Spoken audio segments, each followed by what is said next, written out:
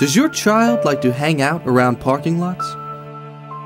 Have you noticed a change in your child's once acceptable mannerisms, or has he or she been hanging out with a new and unusual crowd? Is your automobile always out of gas? Then maybe it's time you spoke to your child about tailpipe huffing. A seemingly harmless activity, tailpipe huffing, or muff puffing, as your child may refer to it as, has the potential to affect your child's posture, reflexes, and ability to reason. Please inform your child about the dangers of sucking noxious fumes out of vehicles. Doing so could save your child's life as well as secure a promising future.